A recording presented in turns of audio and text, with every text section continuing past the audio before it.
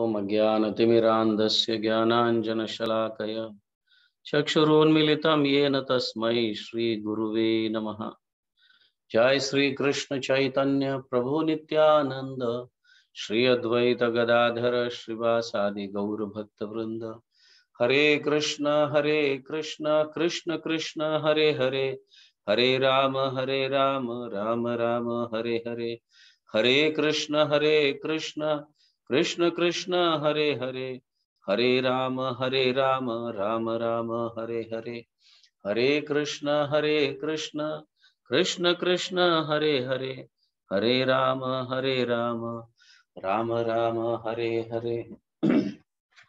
हरे कृष्ण। तो आज हम चर्चा करेंगे कोलद्वीप के विषय में। नवद्वीप में एक द्वीप आता है, जिसका नाम कोलद्वीप है। इसका नाम कोलद्वीप क्यों हुआ, इसकी हम चर्चा कर लेते हैं। बट कोलद्वीप जो है, ये पाद सेवनम को दर्शाता है। नवविदा भक्ति में श्रवणम, कीर्तनम, विष्णु स्मरणम पाद सेवनम पाद सेवनम को दर्शाता है। तो यहाँ इस कोलद्वीप में हम भगवान के थोड़े निकट जाते हैं, उनकी पर्सनल सेवा करते हैं। पाद सेवनम का अर्थ है, जैसे श्री लक्ष्मी जी है, भगवान के श्री चरणों का मसाज करती है पाद सेवनम तो लक्ष्मी जी भगवान के निकट रहती है। ऐसा लगता है, श्रवण, कीर्तन, स्मरण, ये साधन, साधना है, लेकिन पाद सेवन जो है डायरेक्ट भगवान के श्री चरणों का सेवा करना, ये थोड़ा साध्य की जैसा है it is a goal of life इस तरह से। तो कोलद्वीप जो है, ये पाद सेवनम दर्शाता है। तो भगवान के करीब पहुँचने के जैसा है। तो यहाँ कहा गया है, ततो महाप्रयागाख्याम, ततो महाप्रयाग आख्याम पंचवेणी समन्वितम तीर्थम श्री जानवीम तीर्थव कोलद्वीपम जगामह तो चैतन्य महाप्रभु अपने कीर्तन करते करते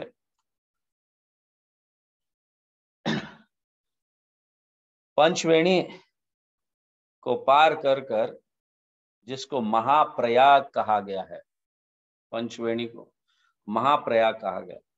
तो वहाँ से फिर गंगा क्रॉस करने के उपरांत कोलद्वीप में प्रवेश किए। ऐसा इस नवद्वीप धाम महात्म्य में कहा गया है।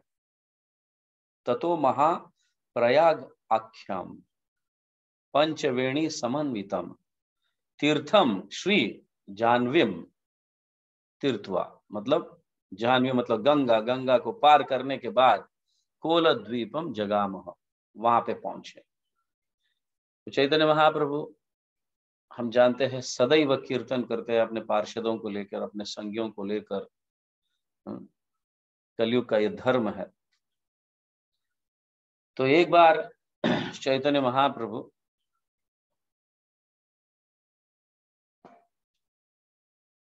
चाँद काजी को लेसन शिक्षा देने के लिए, क्योंकि चाँद काजी ने एक बार श्रीवास आचार्य के आँगन में जब कीर्तन चल रहा था, उस समय चाँद काजी के आदमियों ने, या आदेश दिया था चाँद काजी ने तो उसके आदमियों आकर मृदंग तोड़े थे। तो ये कंप्लेन चैतन्य महाप्रभु पहुँच के पास पहुँचने के बाद चैतन्य महाप्रभु ने बड़ा आंदोलन निकाला। समझ गया?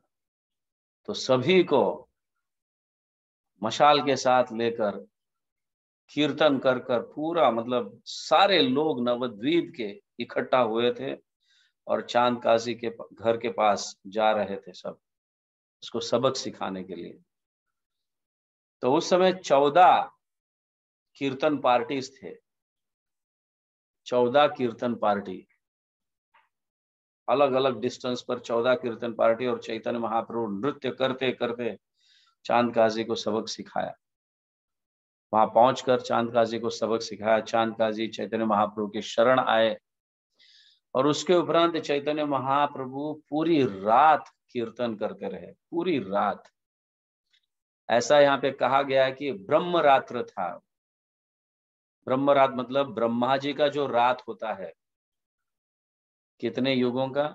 एक हज़ार दिव्य युगों का एक रात। जिस तरह से एक हज़ार दिव्य युगों का एक दिन होता है, उसी तरह से दूसरे एक हज़ार दिव्य युगों का एक रात। मतलब 24 घंटा मतलब 2000 दिव्य युगों का ब्रह्मा का 24 घंटा। तो ये पूरी रात कीर्तन चला, इतना लंबा लगा कि जैसे ब्रह्म रात्र था। मतलब ब्रह्मा जी की रात हुई थी ऐसा कीर्तन। और वो कीर्तन समाप्त होने के उपरांत चैतन्य महाप्रभु सभी को आदेश दिए, एवरी एकादशी, हर एकादशी के समय हम संकीर्तन बाहर जाएँगे और संकीर्तन करेंगे। सभी को हरिनाम प्रदान करेंगे। ऐसे चैतन्य महाप्रभु आदेश दिए थे। तो हम देख लेते कि कोलद्वीप, इस द्वीप का नाम कोलद्वीप कैसे पड़ा? तो एक्चुअली ये गंगा के तट पर एक कुलिया पहाड़ बोल के एक स्थान है। अब वो पहाड़ नहीं रहा। अभी कुलिया ग्राम या कुलिया गाँव बना हुआ है। बट ये सतयुग की बात है। एक ब्राह्मण यहाँ पे रहा करता था। इस कुलिया पहाड़ या मतलब ये कोलद्वीप में यहाँ पे रहा करता था एक ब्राह्मण, जिसका नाम वासुदेव। तो ब्राह्मण है तो उसे विप्र भी कहा जाता है। वासुदेव विप्र यहाँ पे रहा करता था और वो वरहा भगवान का भक्त था।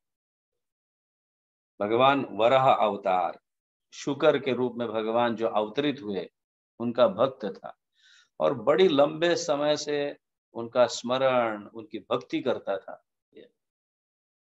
रोज उनके मतलब उनकी भक्ति, उनके नाम का माला जप करना उनके लीलाओं का स्मरण करना और बड़े लंबे समय से करता था और वह हर हमेशा इस तरह से रोते रहता था कि भगवान आप मुझे कब दर्शन दोगे? भगवान आप मुझे कब दर्शन दोगे? कब दर्शन दोगे? कब दर्शन दोगे? इस तरह से और कभी कभी फ्रस्ट्रेट होकर, दुखी होकर हाँ निरंतर उसके आँखों में से आँसू बहते थे कभी कभी तो लोटपोट करता था, अपना सर पटकता था। इस तरह से। मेरा जीवन व्यर्थ है, अगर आप दर्शन नहीं दोगे तो। क्या मैं इतना पतित हूँ? इस तरह से ये करता था। रोता था, लोटपोट करता था, अपना सर पटकता था। तो यहाँ पे स्कूलिया पहाड़ या स्कूलिया ग्राम में, यहाँ पे वरह भगवान एक दिन इस वासुदेव विप्र को दर्शन दिए। बड़े संतुष्ट हो गया दर्शन प्राप्त करने के बाद। तो वरह को कोल कहा जाता है। बंगाली में कोल तो कोल देव दर्शन दिए। तो इस स्थान पर कोलदेव दर्शन दिए, इसलिए इसका, इस स्थान का नाम कोलद्वीप बन गया। कोल कोलद्वीप। तो इसे वराह क्षेत्र भी कहा जाता है। तो कोलदेव ने या वराह देव ने यहाँ पे दर्शन देने के कारण इस द्वीप का नाम कोलद्वीप हो गया। और यहाँ पे भगवान के इतने सुंदर इस वासुदेव विप्र को दर्शन हुए, गले में सुंदर माला पहने हुए, मुकुट पहन, धारण किए हुए, और हाथों में भी उनके कंकण, और उनके दांतों पर पृथ्वी के दर्शन। इतने सुंदर दर्शन हुए। बहुत उन्होंने गुणगान गाया वरा देव का। हाँ। तो वरा देव उनकी भक्ति से और मतलब दर्शन होने के बाद तो निरंतर उनके आँख में से आँसू बहने लगे और एकदम मूर्छित गिर गए।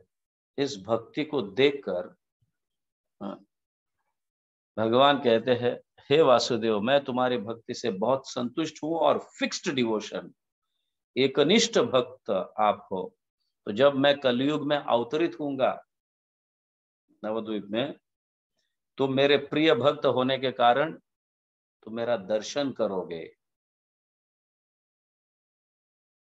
हाँ, गौरांग महाप्रभु के रूप में जब मैं अवतरित होऊँगा आप मेरा दर्शन करोगे आप मेरे संकीर्तन में भाग लोगे।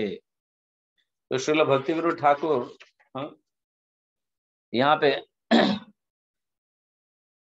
भाव तरंग नवद्वीप भाव तरंग में लिखते हैं और वो भगवान से प्रार्थना करते हैं इस कोलद्वीप में हे प्रभु मुझे allow me to enter into the pastimes of Shri Gaurang who is my lord life after life इस तरह से वो लिखते हैं। तो कहने का तात्पर्य यह है कि अलाउिंग इन द और allowing to enter in to the pastimes और विटनेसिंग द पास टाइम्स दोनों भी अलग है। भगवान के दर्शन करना अलग बात है और भगवान के लीलाओं में प्रवेश करना अलग बात है। भगवान के लीलाओं में प्रवेश करना मतलब भगवान के निकट जाना। जैसे मैं कह रहा था बाद सेवनम जो है भगवान के निकट जाने का मतलब साइन है ये। श्रवण कीर्तन ऑब्वियसली नवविदा भक्ति की एक साधन साधना है श्रवण कीर्तन स्मरण। तो इसमें हम भगवान से थोड़ा दूर रहते हैं और उनका स्मरण करने लगते हैं उनका कीर्तन करने लगते हैं उनके गुणगान गाने लगते हैं हाँ, या उनका श्रवण करने लगते हैं। लेकिन पाद सेवन मतलब भगवान के साक्षात सेवा डायरेक्ट सेवा करना। तो यहाँ भक्ति विनोद ठाकुर लिखते हैं please allow me to enter in to the times मतलब आपके लीलाओं में प्रवेश करने की कृपा मुझे प्राप्त हो। सो so, प्रवेश करना अलग बात और दर्शन दूर से दर्शन भगवान के दर्शन करना अलग बात है। तो प्रवेश करना मतलब भगवान के निकट जाना। तो कोलद्वीप में भजन साधना करने से भगवान के हम निकट पहुँचते हैं। श्रील भक्ति विनोद ठाकुर इस तरह से लिखते हैं। और इस कोलद्वीप में जो है एक और सुंदर स्थान है धामेश्वर मंदिर है वहाँ पे। तो धामेश्वर मंदिर जो है ये ये मंदिर या मंदिर ने वो घर था जहाँ पे विष्णु प्रिया हाँ, चैतन्य महाप्रभु सन्यास लेने के उपरांत विष्णु प्रिया चैतन्य महाप्रभु के विग्रह को बनाकर उनकी सेवा करती थी। और इस स्थान में चैतन्य महाप्रभु पहने हुए चप्पल भी मतलब उनका भी दर्शन हम कर पाएँगे। चैतन्य महाप्रभु ने जो चप्पल पहने थे, उनके जो शूज़ है हाँ उसके भी हम दर्शन कर सकते हैं। तो ये बड़ा सुंदर कोलद्वीप स्थान है। और यहाँ पे इस स्थान में हम साधना करने से भगवान के लीलाओं में प्रवेश कर सकते हैं, ऐसे शिल भक्ति विनोद ठाकुर हमें यहाँ पे समझाते हैं। श्री कोलद्वीप धाम की जय जगत गुरु श्रील प्रभुपाद की जय, हरि नाम संकीर्तन की जय। गौर प्रेमानंदे, हरि हरि बोल।